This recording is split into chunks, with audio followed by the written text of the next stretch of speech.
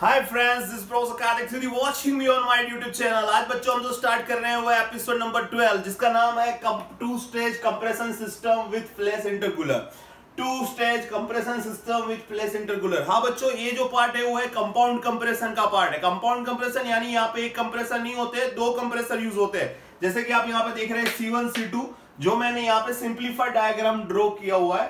सो so, यहाँ पे दो कंप्रेसर है कंप्रेसर वन और कंप्रेसर टू दैट्स वाई इस पार्ट को बोला जाता है कंपाउंड कंप्रेशन जहाँ पे आप एक के एक से ज़्यादा कंप्रेसर यूज़ करते हो दैट्स वाई अब एक से ज़्यादा कंप्रेसर यूज़ करने का फ़ायदा बच्चों वो होता है कि आपका कंप्रेसर वर्क कम हो जाता है। अभी आपको पता नहीं चलेगा कैसे कम होगा।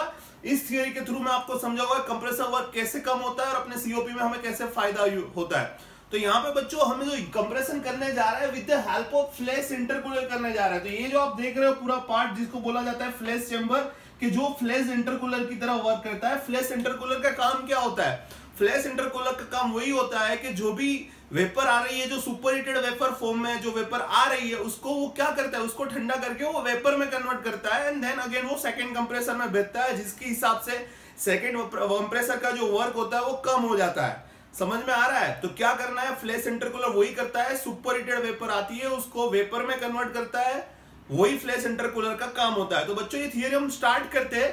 तो इसमें आप देख रहे हो कि यहाँ पे दो कंप्रेसर है कंप्रेसर वन कंप्रेसर टू पहले हम कंपोनेंट देख रहे थे, पूरी की पूरी थियरी के, फिर मैं आपको समझा देता हूँ किस तरीके से काम करती है।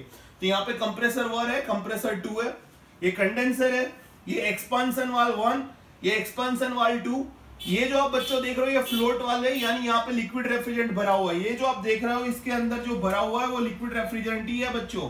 यहाँ पे जो भरा हुआ है, वो है लिक्विड रेफ्रिजरेंट तो बच्चों, ये जो लिक्विड रेफ्रिजरेंट है, उसका लेवल है, वो एक लेवल पे होना चाहिए। जब भी लेवल कम होगा तो यहाँ से लिक्विड रेफ्रिजरेंट आएगा। तो इसका लेवल मेंटेन करने के लिए आप ये जो देख रहे हैं वो फ्लोटॉल जिसको बोला जाता है, वो है।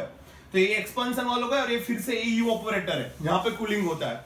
So evaporator compressor one compressor two condenser expansion valve expansion valve float valve ये पूरा हो गया फ्लैश इंटरकूलर जिसको मैं बोलता हूँ फ्लैश चैम्बर है फ्लैश इंटरकूलर तो बच्चों, यहाँ से समझते हैं, हम स्टार्ट करते हैं, हम यू ऑपरेटर से।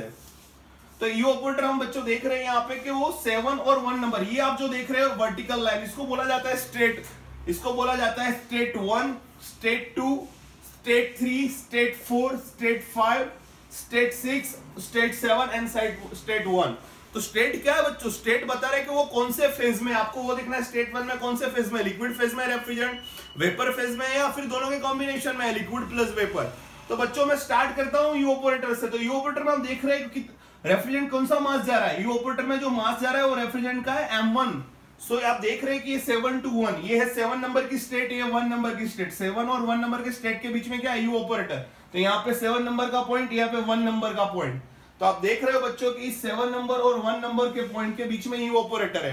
कितना मास जा रहा है? एम वन तो सेवन नंबर और वन नंबर के बीच में जो ऑपरेटर है, वहाँ पे मास जा रहा है एम वन लिक्विड रेफ्रिजरेंट तो ये सेवन टू वन यहाँ से साइकिल स्टार्ट होगी। इसके अंदर लिक्विड रेफ्रिजरेंट जाएगा। तो बच्चों देखो, जब भी ऑपरेटर जब भी लिक्विड रेफ्रिजरेंट ऑपरेटर के अंदर जाता है तो वहाँ से हीट एब्जॉर्ब करता है। और किसमें कन्वर्ट होगा? वेपर में कन्वर्ट होगा ना? तो ये वन नंबर के अंदर वो यूपोरेटर में आके ये जो लिक्विड रेफ्रिजरेंट किसमें कन्वर्ट हो गया? वेपर में। इसलिए आप देखो वन पॉइंट कौन सी लाइन पे है? वेपर लाइन पे है। फिर यहाँ पे M one amount of mass जो वेपर है, वो कहाँ पे जाएगा? कंप्रेसर में जाएगा। तो क्या होगा? Compression so one two two जो आपको यहाँ पे दिखा रहा है, वो क्या दिखा रहा है? कंप्रेशन तो देखो वन पॉइंट कौन से लाइन में था? वेपर अब उसको कंप्रेसर में क्या होगा? कंप्रेस होगा। कंप्रेस होगा तो उसका टेम्परेचर बढ़ेगा। इसलिए आप देखो सेकंड पॉइंट कौन से फेस में? सुपर हीटेड लाइन पे चला गया। वेपर यहाँ पे था, गर्म किया सुपर हीटेड में चला गया। तो आपका सेकंड नंबर पॉइंट में जो वेपर होती है, वो सुपर हीटेड में होती है। इसीलिए बच्चों, यहाँ पे फ्लेस इंटरकुलर रखा जाता है। क्योंकि अभी वो सेकंड कंप्रेसर में जाएगा C2 में तो हम उसको सुपर हीटेड स्टेट में नहीं भेज सकते। उस सुपर हीटेड वेपर को हमें कन्वर्ट करना होता है वेपर में, यानी उसका कूलिंग करना पड़ता है। इसीलिए बच्चों फ्लैश इंटरकूलर यूज़ किया जाता है फ़र्स्ट कंप्रेसर और सेकंड कंप्रेसर के बीच में। इसीलिए बच्चों फ्लैश इंटरकूलर का काम वही होता है कि जो फ़र्स्ट कंप्रेसर के अंदर जो सुपर हीटेड वेपर निकल, रही है उसको ठंडा करके उसको वेपर में कन्वर्ट करना और उसके बाद उसको कंप्रेसर टू में भेजना। तो बच्चों आप देख रहे हैं यहाँ पे टू नंबर पे सुपर हीटेड वेपर है। वो कहाँ पे आएगी? ये आएगी यहाँ पे अंदर। देखो अभी अंदर क्या है बच्चों ये लिक्विड रेफ्रिजरेंट है। आप बोलेंगे कहाँ से आया?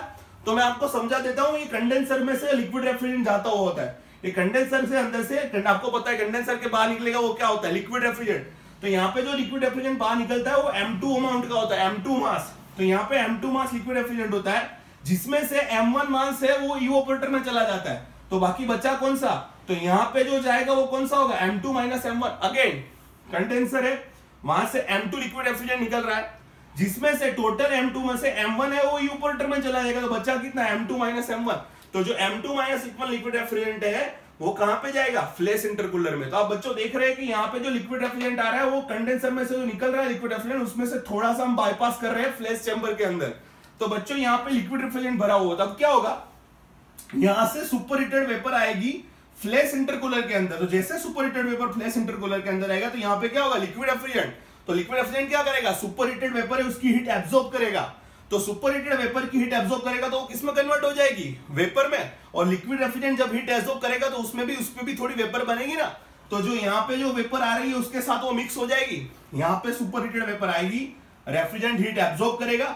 इसलिए वो सुपर हीट वेपर वेपर में कन्वर्ट हो जाएगी, लेकिन यहाँ पे लिक्विड रेफ्रिजरेंट ने हीट एब्जॉर्ब करी है तो उसमें से भी कुछ वेपर बनेगी लिक्विड की भी।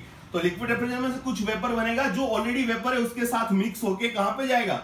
सेकेंड कंप्रेसर में। इसीलिए बच्चों, यहाँ पे मास M1 की जगह पे, यहाँ पे जो बाहर निकल रहा है, वो मैंने मास M2 लिखा है। क्यों? ऑलरेडी जो सुपर हीटेड वेपर आ रहा है वो तो फिर वो क्या करेगा? यहाँ पे उसका कूलिंग होगा तो हीट कौन ऑब्ज़र्व करेगा? रेफ्रिजरेंट इसलिए सुपर हीटेड का वेपर में कन्वर्ट होगा, लेकिन लिक्विड रेफ्रिजरेंट हीट अब्सॉर्ब करेगा, इसलिए उसमें, उनमें से कुछ वेपर में कन्वर्ट हो गए।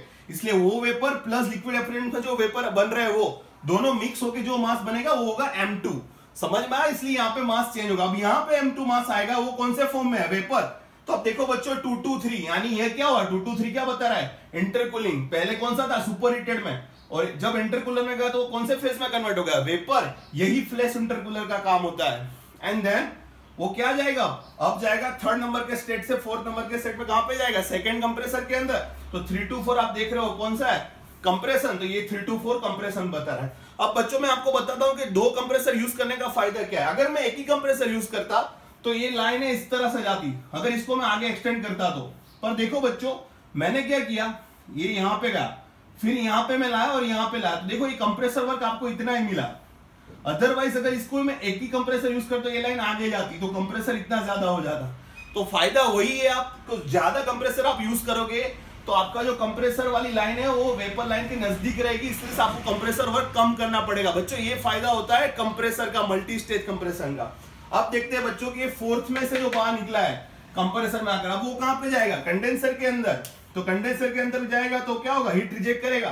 तो फाइव नंबर के पॉइंट में कौन से फ़ेज़ में होगा? लिक्विड तो देखो ये four two five five number के पॉइंट में कौन सा आएगा? लिक्विड तो अब लिक्विड में आएगा। लिक्विड में एम है, लेकिन बच्चों हम जानते हैं कि उनमें से थोड़ा लिक्विड रेफ्रिजरेंट कहाँ पे चला जाता है? फ्लैश इंटरकूलर में। M2 लिक्विड रेफ्रिजरेंट कंडेंसर में से बाहर निकलता है, जिसमें से M1 चला जाता है, ये ऑपरेटर बचा कितना? M2 माइनस M1 तो M2 माइनस एम कहाँ पे जाता है? फ्लेश इंटरकूलर अब बच्चों, मैं आपको एक्सपांशन वाल का काम बताता हूँ कि बच्चों, यहाँ पे तीन प्रेशर होते हैं। एक जो प्रेशर आप यहाँ पे देख रहे हैं, ये है यूओपोरेटर प्रेशर ये इस प्रेशर पे काम करता है, इसको बोलते हैं यूओपोरेटर प्रेशर यहाँ पे बच्चों, आप जो देख रहे हैं, वो है कंडेंसर प्रेशर और यहाँ पे जो बच्चों, आप देख रहे हैं, उसको बोला जाता है इंटरमीडिएट प्रेशर तो आप बच्चों, देखो यहाँ पे कि ये जो हमारी चीज़ है, वो कौन से प्रेशर से आ रही है? कंडेंसर प्रेशर से आ रही है। तो ये फाइव नंबर के स्टेट में जो प्रेशर है रेफ्रिजरेंट का, वो कौन सा है? कंडेंसर तो जब हम उसको फ्लैश चेंबर में भेजे, तब उसका प्रेशर फ्लैश चेंबर में जो प्रेशर है, उसके हिसाब से होना चाहिए। तो फ्लैश चेंबर में जो प्रेशर है, वो है पी इंटरमीडिएट प्रेशर है इसलिए बच्चों, कि कंडेंसर प्रेशर को फ्लैश चेंबर प्रेशर में कन्वर्ट करने के लिए यहाँ पे एक्सपांशन वाल करता है, क्योंकि कंडेंसर प्रेशर ज़्यादा है इंटरमीडिएट प्रेशर कम है, उसको रिड्यूस करना पड़ेगा। इसीलिए बच्चों यहाँ पे एक्सपांशन वाल रखते हैं ताकि कंडेंसर प्रेशर में जो लिक्विड रेफ्रिजरेंट आ रहा है, वो इंटरमीडिएट प्रेशर में कन्वर्ट हो जाए। उसी तरह से बच्चों, बाकी का जो रेफरेंट M1 बचा, वो कहाँ पे जाएगा? ई e ऑपरेटर में। लेकिन ई e ऑपरेटर में जो प्रेशर है, वो कौन सा है? ई ऑपरेटर प्रेशर और अपना जो आ रहा है, वो कहाँ से आ रहा है? कंडेंसर प्रेशर से आ रहा है तो उसका रिड्यूस करके हमें कितना करना पड़ेगा? ई e ऑपरेटर इसीलिए बच्चों यहाँ पे सेकंड एक्सपेंसर लिखते हैं कि जो यहाँ पे कंडेंसर प्रेशर वाला रेफ्रिजरेंट आ रहा है, उसको कौन से वेपर में कन्वर्ट कर दे उसको ई ऑपरेटर प्रेशर में कन्वर्ट कर दे, इसलिए बच्चों। तो आपको समझ में आ गया? तो यहाँ पे तीन प्रेशर होते हैं कंप्रेसर इंटरमीडिएट और यूपोरेटर तो ये क्या हुआ बच्चों? फाइव टू सिक्स ये बता रहा है एक्सपांसर उसमें से थोड़ा बाईपास हुआ, जो हमने यहाँ पे देखा था। M two minus M one five two six तो ये वही बता रहा है फाइव टू सिक्स एक्सपांसन वाल और फिर वो कहाँ पे जाएगा? थर्ड नंबर के पॉइंट में मिक्स होगा, यहाँ पे जो आ रहा है, और यहाँ पे आएगा, ये दोनों मिक्स होगा। और दोनों का मिक्स का रिजल्टेंट क्या होगा? थर्ड नंबर का पॉइंट इसीलिए बच्चों ये बाईपास बता रहा है। और फिर क्या होगा? फाइव टू सेवन तो फाइव टू सेवन ये थ्रोटलिंग और सेवन टू वन तो क्या होगा? इवोपोरेशन समझ में आ गया बच्चों? तो बहुत इजी है। इसी तरह से पूरी साइकिल वर्क करती है और पूरी प्रोसेस रिपीट होती है। आई होप बच्चों, आपको ये लेक्चर पसंद आया। अगर आपको लेक्चर पसंद आया तो प्लीज़ शेयर करें सब्सक्राइब करें और लाइक करें। Hope you have nice day bye bye